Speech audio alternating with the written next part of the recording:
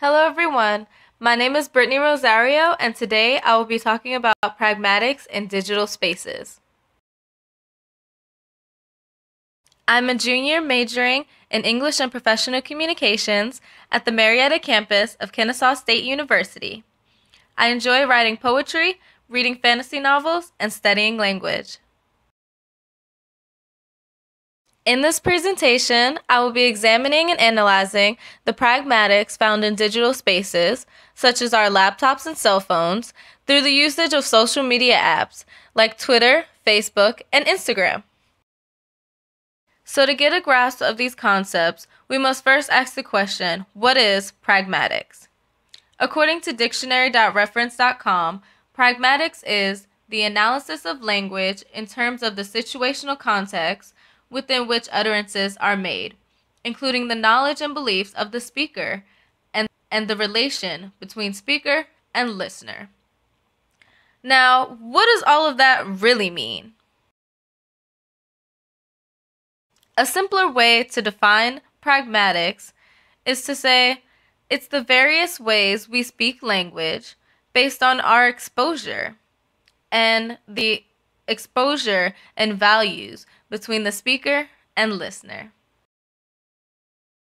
And to get a better understanding of pragmatics, we have to take a look at speech act theory, which is a functional method in communication that the speaker performs when they make an utterance. So these utterances are just words. And if you look into the picture on the right, you'll see that there are different types of utterances. One is the propositional utterance, which is the reference to other things. The second one is illocutionary utterance, which has the intention to interact. And perlocutionary utterances have the intention to affect behavior.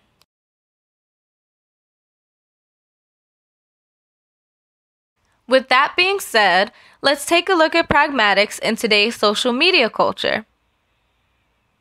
We have the hashtag phenomena, where we will talk about hashtag usage and the role it plays in language, as well as text message confusion, which can be caused by a misinterpretation of, of language between the usage of abbreviations, acronyms, and emojis.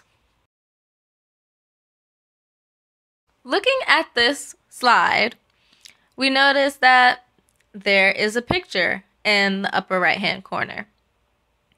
And people of the older generation might say that this picture is a pound sign.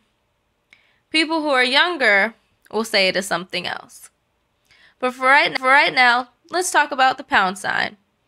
Originally, the pound sign was used to finish a command on an automated system from your telephone as a coding symbol to print from an application on a computer and it was also used as a weight symbol before the pound symbol was programmed into computers.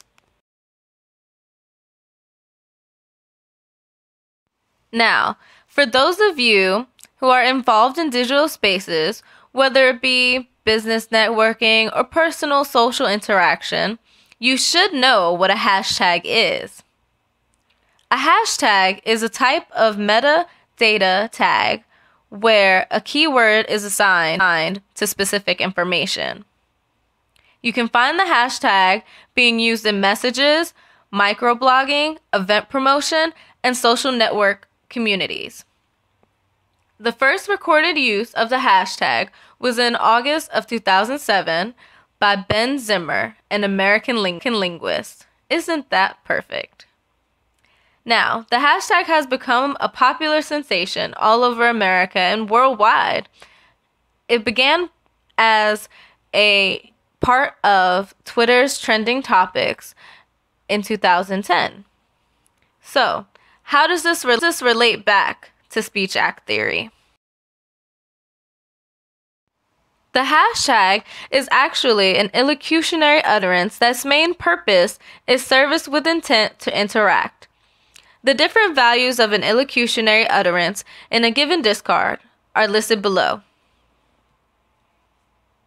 If you look and read each one of these values, you will find that a hashtag actually fits into each one. First, we have commissive, where a hashtag fits there because if you look at the anti texting and driving campaign, they use the hashtag it can wait as part of their Take the Pledge campaign for people to sign a pledge and say that they will not text and drive.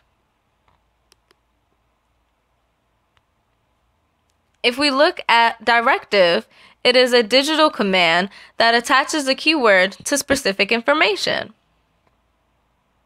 Expressive because of the, the Sorry Not Sorry campaign by Pantene, which uses the hashtag Shine Strong. Representative that suggests assertion to a command, which relates back to a directive value. And lastly, a, ha- a hashtag is declarative, where the person uses a hashtag has power to do whatever they want with it. This can easily break policy. One hashtag that has created controversy, especially all over Instagram, is hashtag eggplant Friday. Now that we've talked about the public use of pragmatics in digital spaces, let's get a little bit more personal and talk about text messaging. Just about everyone has their own mobile phone, but not every individual that has a mobile phone knows how to communicate effectively through text message. And being able to have effective text message communication varies based on how well you know a person because things can easily be taken the wrong way based on how you write them. So let's look at an example of what I mean.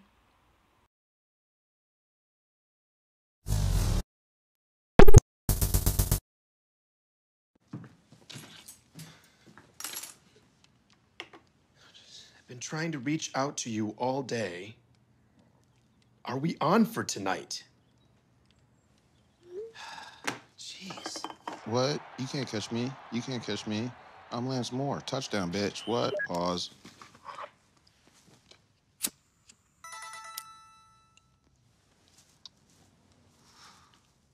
Oh, shoot. Keegan's been texting me. Sorry, dude. Your texts. I assumed we'd meet at the bar. Whatever. I don't care.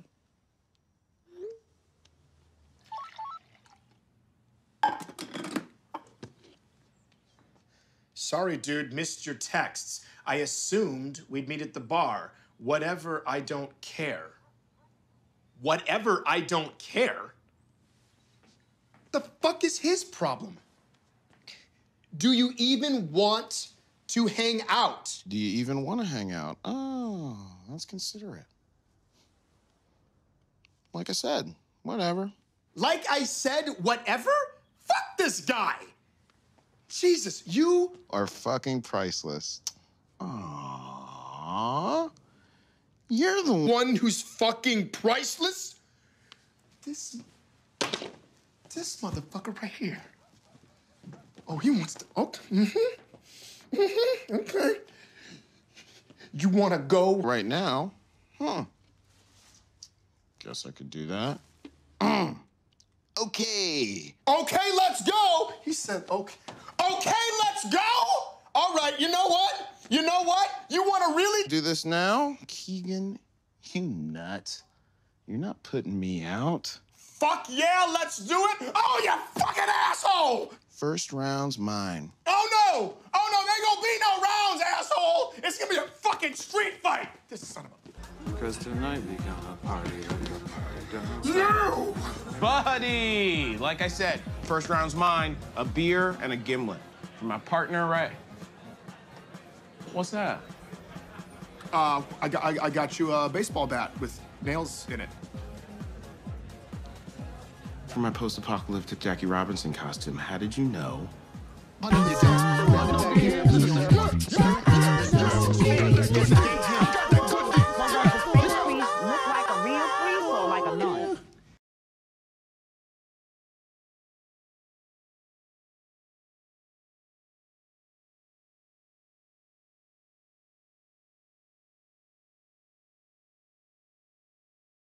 I hope you enjoyed that video clip from the show Key and Peele on Comedy Central.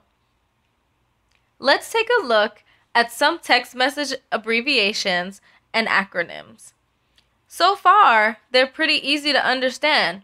We have tomorrow, tonight, be right back, best friend forever, great, I love you, talk to you later, or just later, oh my gosh, lol, which is laugh out loud, or you could say laughing my ass off. Some people say laughing my butt off. Then, un- then under that you have rolling on the fucking floor because something so funny they're rolling on the floor. Then you have what the fuck or what the freak for those who are censored. We have just kidding. No problem. Too much information and hugs and kisses.